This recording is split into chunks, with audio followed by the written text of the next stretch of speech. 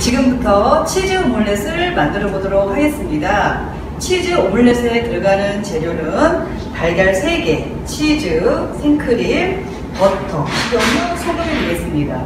자, 그럼 지금부터 치즈 오믈렛을 만들어 보도록 하겠습니다. 자, 먼저 치즈를 썰어 주도록 하겠는데요. 치즈는 0.5cm 정도 어, 크기로 썰어 주시면 되는데 치즈의 이 포장지를 뜯지 마시고 치즈를 네, 칼로 썰어 주시면 네, 나중에 치즈를 떼기가 편리합니다. 그래서 0.5 정도 크기로 치즈를 썰어 주시겠습니다.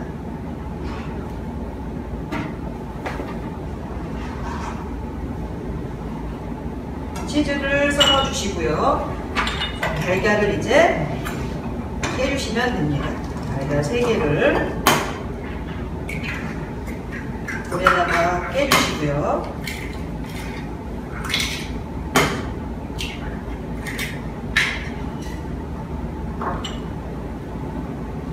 소금으로 간을 맞춰주시고 생크림을 넣어주겠습니다. 소금과 생크림을 넣은 달걀물을 잘 풀어주시고요. 얘를 체에다 한번 걸러주시면 되겠습니다.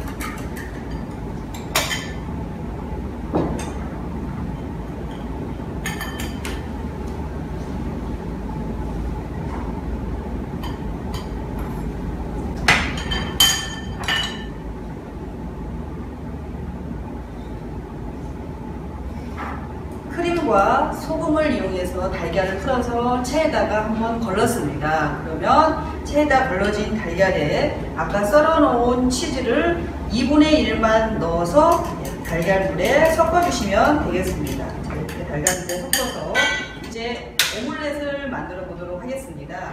자, 오믈렛은 팬이 코팅이 잘 되어 있는 새 팬으로 하시는 게 네, 오믈렛을 만드는데 유리합니다. 그래서 먼저 식용유로 팬을 먼저 한번 코팅을 한 번 더 시켜주시고요. 식용유를 이용해서 팬을 코팅을 한번 시켜주시고 이제 버터를 팬에 녹여주시면 되겠습니다.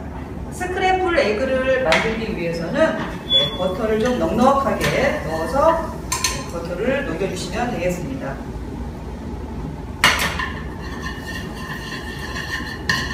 버터를 넉넉하게 넣어서 녹여주시고요. 치즈까지 섞은 달걀물을 넣어서 이제 스크램블 에그를 만들어 주시는데요. 스크램블 에그는 재빠르게 스크램블을 만들어 주셔야 오믈렛이 부드럽게 나옵니다. 그래서 스크램블이 만들어졌으면 네, 팬의 끝에 몰아서 끝으로 치즈를 오믈렛을 몰아주시고요. 네, 불은 이때부터는 줄여서 부드럽게 오믈렛이 될 수 있도록 불을 좀 줄여주시고 네, 치즈 2분의 1을 넣어서 달걀물에다가 섞었지만 또 나머지 2분의 1은 오믈렛 가운데다가 이렇게 치즈를 넣어주시면 됩니다. 그래서 젓가락을 이용해서 모양을 잡아주시는데요. 팬 3분의 1에다가 이렇게 만들었습니다. 그러면 럭비공 모양으로 만들어줘야 되기 때문에 이렇게 모양을 좀 잡아주겠습니다.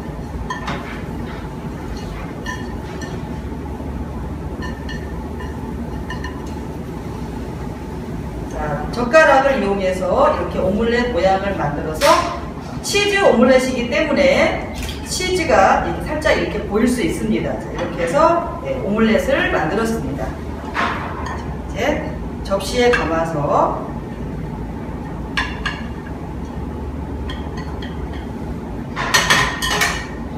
완성을 하도록 하겠습니다. 자, 이렇게 해서 치즈 오믈렛을 완성하였습니다.